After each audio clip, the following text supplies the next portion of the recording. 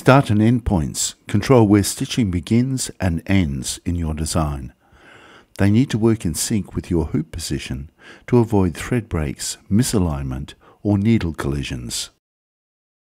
Every embroidery machine is different. Always trace the design on the machine to make sure it fits within the sewing area before stitching out. Check your machine requirements.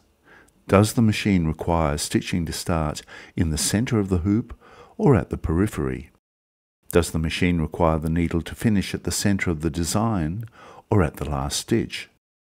In this video, we look at how to set start and end points in Embroidery Studio.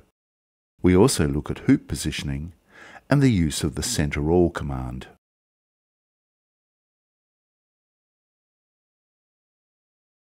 Activate Auto Start and End symbols via the Options View Design tab.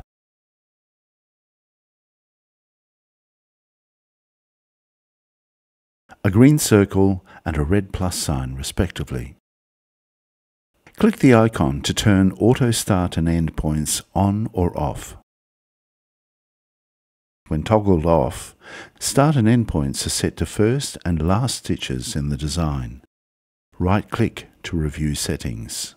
Auto Start At. If you choose this option, the start point is set to a preset position in the design. Top left, center, bottom right, and so on. Generally, the center point is used. The Return to Start option takes you back to the starting point. Always use this unless you have a specific reason for setting a different endpoint for instance when designing for continuous embroidery.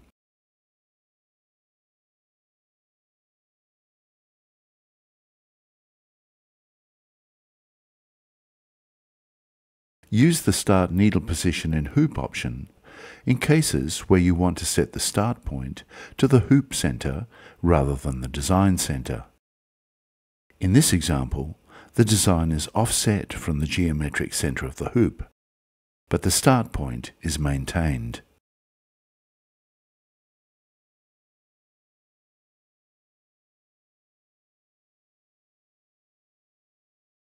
When you use automatic centering, start endpoints are maintained as you add or subtract design components. When you activate the manual option, the original start and endpoints are maintained.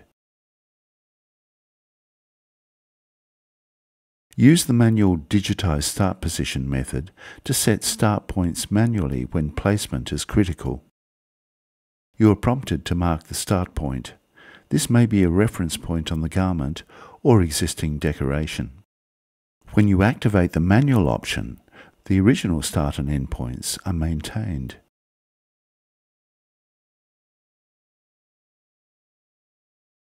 Hoop positioning can be fixed or automatic. Automatic centering aligns the hoop to the geometric center of the design. This is the most common scenario. It ensures that the hoop remains centered around the design when editing or positioning. Note that domestic embroidery machines will always center the design. Set your software to match the behavior of the machine. Fixed this option ensures the hoop does not move from its original position. This means it won't automatically center while digitizing or editing, or when using artwork as a backdrop.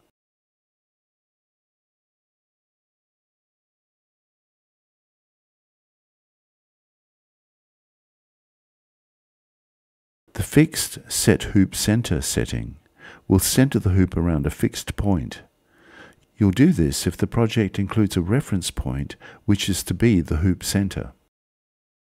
After clicking OK, mark a point on the design window where you want to center the hoop. With a fixed hoop position, you would normally set the auto start to start needle position in hoop. The design will then stitch in the position shown in the design window.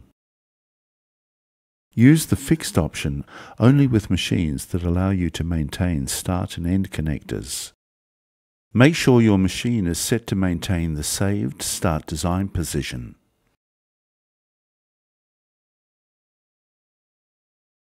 The Center All command provides a quick way to move both the design and the hoop to the 00 point in the design window.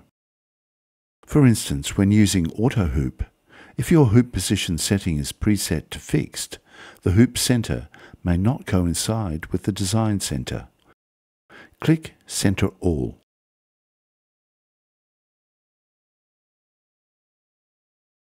Some hoops such as Janome number 1 and 3, are offset from the 0, 0 position.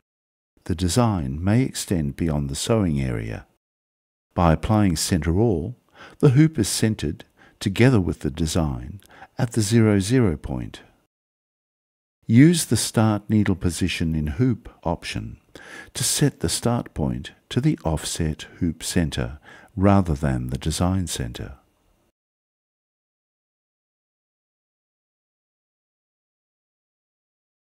Let's look at a few examples to see how the various start end and hoop position settings can be applied. You may want to set a start point when combining embroidery and digital print. It partly depends on the type of machine you are using. Broadly speaking, industrial or domestic. Industrial machines do not automatically start stitching at the hoop center. They are hoop agnostic and unless properly positioned within the hoop, the needle can hit the frame and cause damage. In this case, we set a specific start point which will be offset from the hoop center. Choose the Digitize Start Position option. Click a start point in a clearly defined part of the design. Find a sharp point that's easy to align the needle to. Set the hoop to auto centering.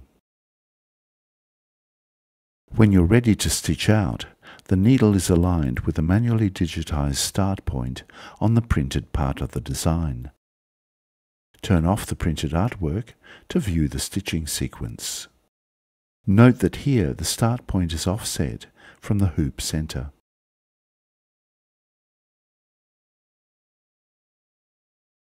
Because domestic machines always start in the center, this is where you want to align the hoop with a reference point in the design.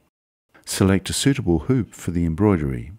The printed part may extend beyond the hoop perimeter. Note that while the design is neatly accommodated within the hoop, the start position is not actually aligned with anything in the printed portion of the design. Zoom in and click a clearly identifiable reference point.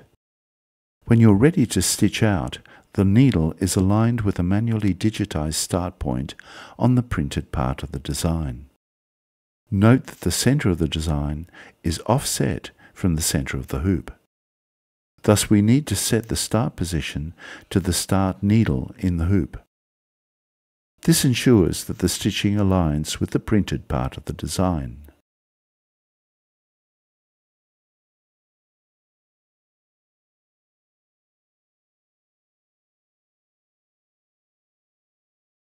Another common use case requiring the manual method for start and end points is when aligning badges consistently to a known part of the garment. For instance, let's say you want to place a club logo 2 centimeters above the pocket of a shirt. In this case, digitize the start and end point 2 centimeters below the design.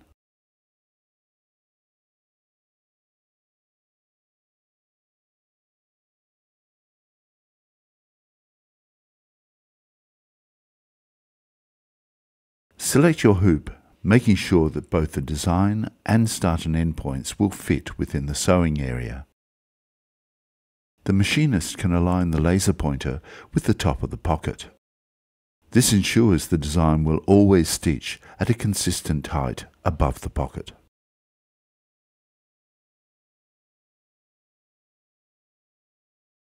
For industrial machines, the hoop in the EMB file is only an indication, because the machine itself does not know which hoop is being used.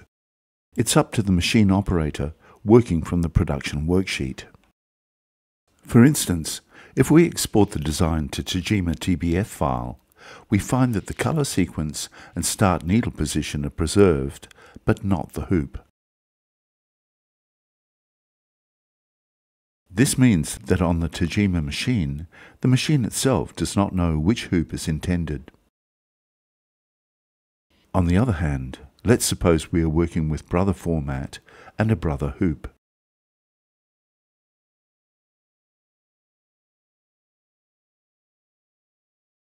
In this case, we export to brother PES file format.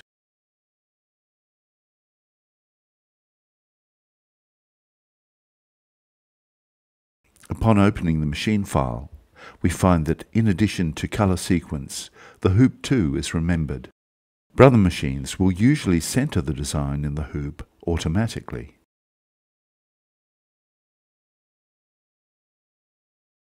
When it comes to production, machine operators will generally place the worksheet in the hoop and align the start needle with the crosshair.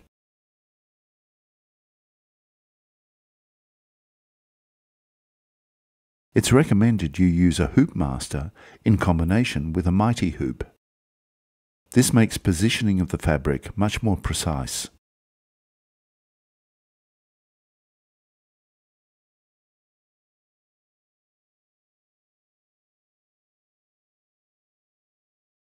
Embroidery Studio supports the full range of Mighty hoops. Whatever settings work for you, save to the template.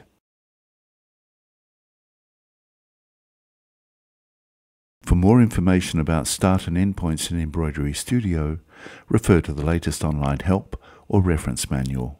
See the links below. Thanks for watching.